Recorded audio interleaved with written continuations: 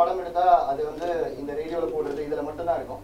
இப்போ அந்த இசை வந்து உலகம் முழுக்க போகும்போது உங்க படத்தினுடைய ரீச்சும் ஜாஸ்தியாகும் ஸ்டார்ஸ் அவங்களோட வேல்யூம் ஜாஸ்தியாகும் நீங்க இதை எப்படி பாக்குறீங்க பேசிக்கலாக எந்த ஒரு படமே வந்து ஃபர்ஸ்ட் ஐடென்டிட்டி ஐ மீன் படம் பார்க்கணும்னு தோன்றதே வந்து அந்த சாங்ஸ் ஸோ அந்த சாங்ஸ் வந்து இப்போ வந்து இங்கேயே தாண்டி எல்லா இடத்துக்கும் போகும்போது அந்த படத்தோட ரீச் வந்து பெரிய ப்ளஸ்ஸாக இருக்கும். அந்த படத்துக்கு வந்து அது எப்படி இருக்குன்னா ஓப்பனிங்கில் வந்து கண்டிப்பாக இருக்கு ப்ரொடியூசரா உங்களுக்கும் இருந்தாங்க எங்களுக்கு தான் ரொம்ப சந்தோஷம். Thank you so much, sir. sir. You're to. No, no.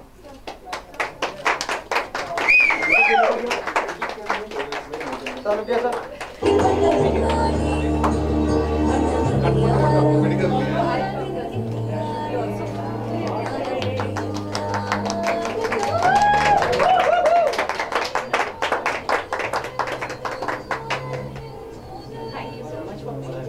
Thank you.